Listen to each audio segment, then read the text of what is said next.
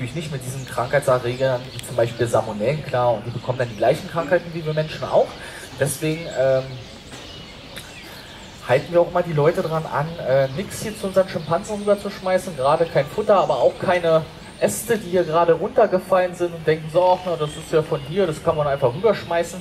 Aber genauso wie sie unsere Tiere anstecken können mit diversen Krankheiten wie Erkältung oder dergleichen, mhm. kann der Affe sie auch anstecken, wenn er zum Beispiel den Ast wieder zurückschmeißt. Das finden sie ganz lustig. Aber sie wissen ja gar nicht, ob der vielleicht eine Durchfallerkrankung gerade hat. Und dann haben sie die gleichen Krankheiten. Und das wollen wir natürlich hier vermeiden.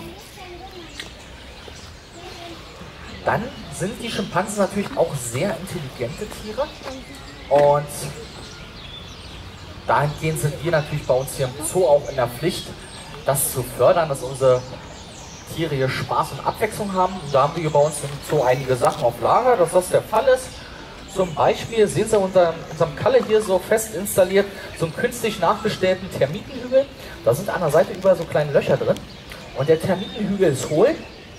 Und in den Innenraum können wir lange Plastikröhren ranschrauben und diese Plastikröhren füllen wir dann mit verdünntem Naturjoghurt, verdünnt mit ein bisschen Wasser, damit die Sache schwieriger, nicht ganz so dickflüssig. Und dann müssen wir probieren, wie in der Natur auch, mit ganz langen Stöckern da reinzustochern und ganz langsam den Joghurt rauszuziehen. Da sind sie eine Weile mit beschäftigt und haben auch sehr viel Freude dabei.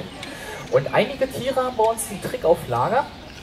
Die nehmen den Stock nicht ganz normal, die nehmen das Ende und spreizen das auf wie so ein Pinsel dann wissen sie ganz genau, da bleibt mehr haften und hängen und es geht schneller und das ist ergiebiger und dann kann man auch bei dem anderen im Loch das Futter klauen.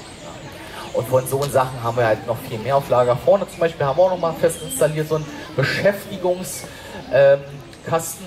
da kommt auch so in regelmäßigen Abständen über den ganzen Tag so kleine Futterpellets raus. Und gerade so verfressene Tiere wie unsere Buster zum Beispiel, die kann sich damit stundenlang beschäftigen.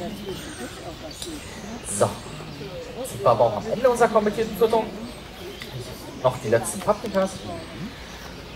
Wir haben aber gleich noch im Anschluss um 14 Uhr noch eine zweite kommentierte Fütterung bei uns im Menschenaffenbereich. Unsere kommentierte Gorilla-Fütterung.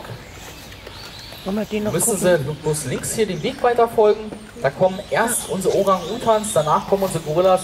Sehen Sie da schon große schwarze Affen, ich glaube nicht zu verfehlen.